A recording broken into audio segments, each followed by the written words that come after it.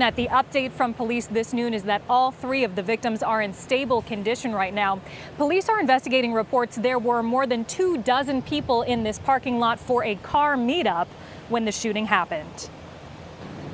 Getting reports of uh, shots fired and somebody hit right now. Brockton police spread out in the Montello commuter rail parking lot, the start of an investigation after three people were shot here early this morning. It's just sad the incidents that happened today. Aileen Hayes works at Montilio's Bakery, which sits right on the MBTA parking lot.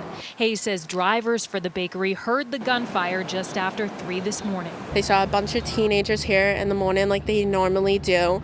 And then once when they heard the shots going off, they originally thought it was fireworks. And then after that, they realized it wasn't. I heard um, one of the drivers tried helping the kids that was on the floor. And then um, I guess somebody like got thrown into the car and I'm assuming got rushed to the hospital. A man and woman were dropped off at a nearby hospital. Police say another man was taken by ambulance, all suffering gunshot wounds. I've lived here my whole life. I hear stuff happens all the time, but I typically keep to myself, so I never really I'd never see anything. There was a couple of incidents where there's been like break-ins around here. This shooting, another reason Hayes and her coworkers are careful in the area. I honestly think it would be better if they had like cruisers come into patrol at night or if they did like put like more security up or stuff.